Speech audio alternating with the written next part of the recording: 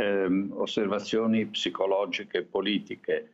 Eh, ci sono due rischi in cui sicuramente il Presidente Draghi non cadrà perché è un uomo di grande esperienza anche internazionale.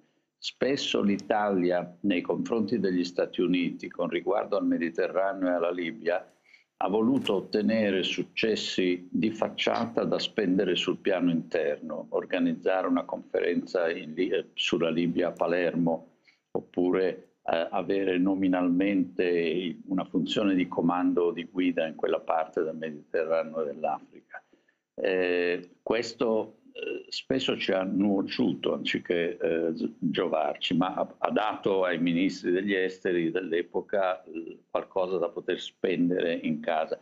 E l'altra cosa, dobbiamo al tempo stesso, soprattutto alla luce del problema dell'immigrazione, europeizzare il più possibile le questioni del Mediterraneo e eh, una delle rare cose che io non ho condiviso nella politica del Presidente del Consiglio Letta eh, in, tutta la sua storia è quel nostrum eh, simpaticamente ma pericolosamente eh, appiccicato a Mare Nostrum. Questo ha dato una sensazione che fosse affar nostro. Affare dell'Italia soltanto.